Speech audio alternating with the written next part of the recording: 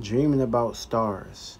If you had a dream about the stars or the moon, for instance, this means that this is what you've been paying attention to in your awake life.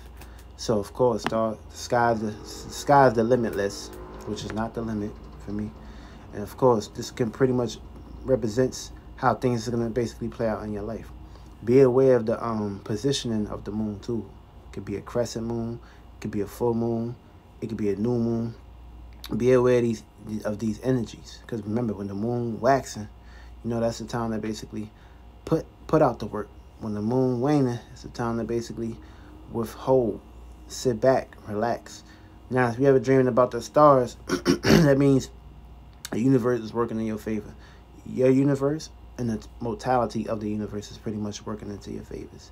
Especially if you're looking up to the stars at this position as well. This is going to pre pretty much play out into um a resemblance of how you seen this reflection. And of course, it's good. That's why it's very good to stargaze for me.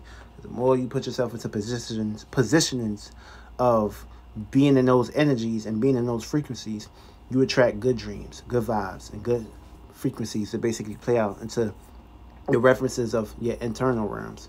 And it's very highly important to basically be aware of these things too, because these things can reflect you on a totality schedule. And of course, the stars are important. You are a star. So pretty much if you're connecting with them, they're gonna connect with you. They're gonna basically come right back at you. So dreaming of stars or stargazing in general reflects that, you know, especially depending on how you're using the stars too. For me, it's one thing to basically just stare at it all day, but if you ain't got no intent behind it on what you're doing, then 10 times out of 10, you're just going to be in la la land. But of course, if you're using the stars for a specific reason, you're dreaming about these things, and these things are pretty much working into your favor, then that means 10 times out of 10, that's how it's going to reflect for me. Because there's one thing, you could be aware of things, but if you don't have no intent behind it on what you're doing, then it's really not going to work into your favor for me. You're just going to basically be daydreaming. And of course, it's cool to daydream. That's wonderful. That's beautiful. That's brilliant. But of course, you still got the other elemental perspectives that you got to play, pretty much play out. And these elements need to be played out for me. Because if you ain't using your power, you're going to lose your power. Of course, that's how it plays out into a position. So if you're hearing about the stars, 10 times out of 10, you're looking up to them. For me. And of course, what you're paying attention what you're paying attention to is what you're creating in your life.